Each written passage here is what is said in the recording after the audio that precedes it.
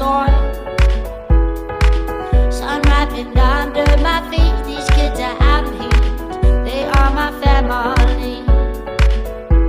Now I'm gonna tell my mama that I'm a traveler.